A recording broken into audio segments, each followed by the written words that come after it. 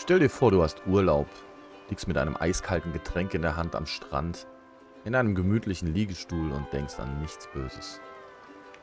Und wenn du dein Handy nicht mit an den Strand genommen hättest, hättest du dir zum einen vielleicht sehr viel erspart oder viel verpasst.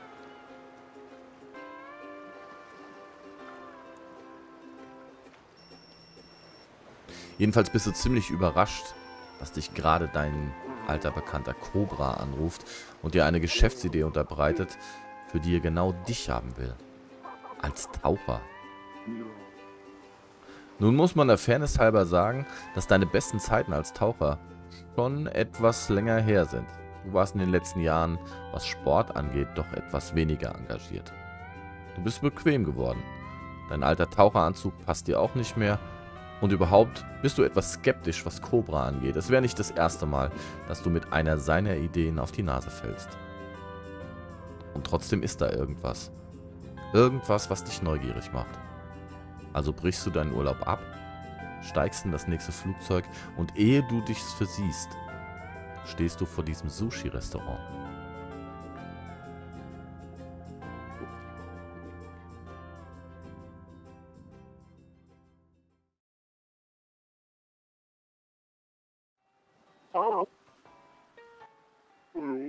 Kaum angekommen, triffst du dich mit Cobra, der direkt sehen will, wie es um deine Tauchkünste bestellt ist. Und das, obwohl du doch eigentlich nur leckeres Sushi essen willst. Jo.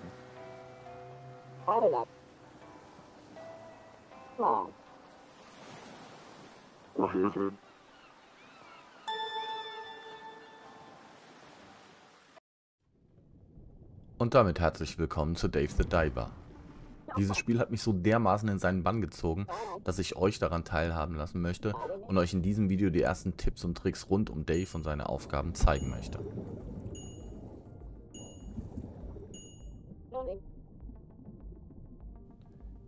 Am Anfang des Spiels lernst du von Cobra die Grundlagen des Tauchens und Fischefangens. Danach bekommst du immer mehr Aufgaben, die du für die unterschiedlichsten Figuren erledigen sollst und daraus entspinnt sich eine Story, in die du wörtwörtlich eintauchen wirst. Aber first things first. Tipp Nummer 1. Achte darauf, dass du anfangs nur zwei Tauchgänge pro Tag unternehmen kannst und sammle deshalb von Anfang an so viel Material, wie du tragen kannst. Fische und andere Unterwasserlebewesen benötigst du, um sie im Restaurant später zu Sushi verarbeiten zu lassen. Andere Materialien wie Holz oder Muscheln und so weiter benötigst du, um damit deine Ausrüstung abzugraden oder sie im späteren Verlauf des Spiels gewinnbringend zu verkaufen.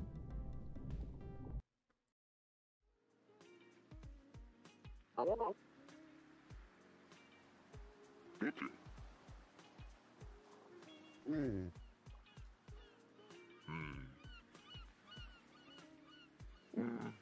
Tipp Nummer 2. Deine Arbeit beschränkt sich nicht nur auf das Tauchen, nein, Du musst auch abends im Sushi-Restaurant helfen, die Gäste zu bedienen und somit Geld verdienen.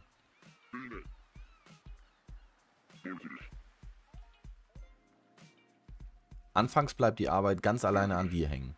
Unterstützt wirst du nur von einem sehr exzentrischen Koch namens Pancho. Das Restaurant ist anfangs eine echte Drecksbude und deine Aufgabe ist es, neben dem Bedienen der Gäste die Speisekarte zu erstellen und nach und nach dafür zu sorgen, dass aus einem kleinen, unscheinbaren Restaurant der Sushi-Hotspot schlechthin wird.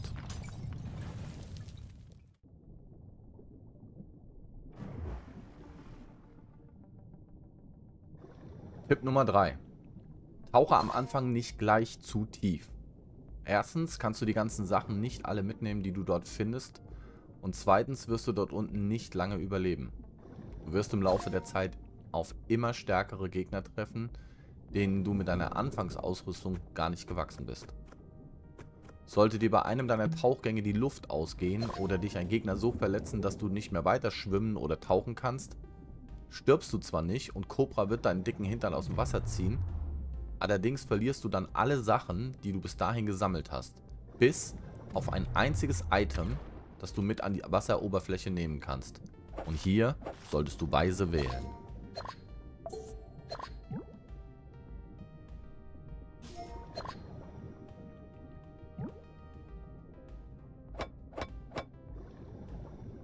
Tipp Nummer 4.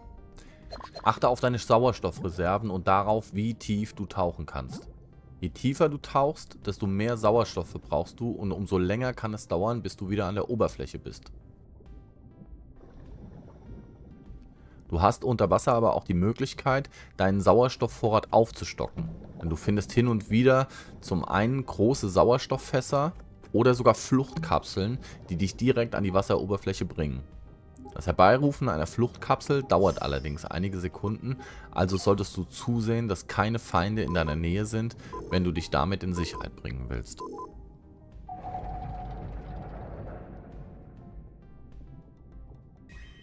Tipp Nummer 5. Dein Smartphone ist dein Freund und Helfer und wird nach und nach mit immer mehr Apps ausgestattet, die dir das Leben erleichtern. Sobald du die iDiver App dein eigen nennst, kannst du hier deine Ausrüstung verbessern. Achte hierbei am besten immer darauf, dass du die Waage hältst. Kein Taucheranzug, mit dem du 500 Meter tief tauchen kannst, hilft dir, wenn du nur für 250 Meter Luft hast.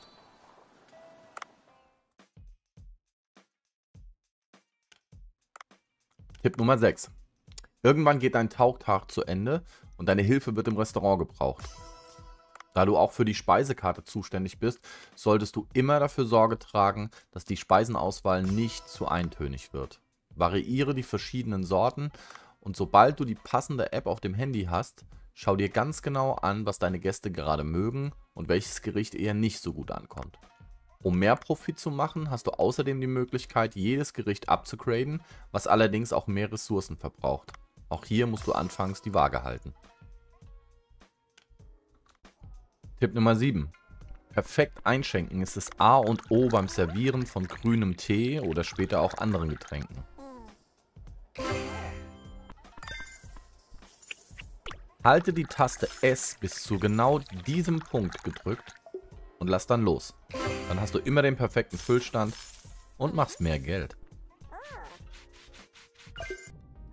So, und für den Anfang will ich es auch hierbei belassen. Das waren jetzt sieben Tipps, wirklich so für Anfänger, die gar nicht wissen, was, mit, was es mit dem Spiel auf sich hat. Das soll nur so eine kleine Einladung sein. Ich werde ähm, auf alle anderen Sachen in den nächsten Videos noch eingehen, auf die einzelnen Apps, die es gibt, auf die, ähm, auf die Bar, was man da noch machen kann, auf das Schiff, was man da machen kann. Natürlich auch auf die Fische, auf Unterwasser, auf die Gegner, auf alles mögliche. Wenn ihr irgendwas Bestimmtes zu dem Spiel wissen möchtet, dann schreibt mir das gerne in die Kommentare und wie immer, wenn euch das Video gefallen hat, gerne einen Daumen nach oben und ähm, Glocke abonnieren und vielleicht sogar Kanalmitglied werden, wenn ihr Lust drauf habt. Also, bis zum nächsten Mal. Macht Liebe. Bis dann. Ciao, ciao.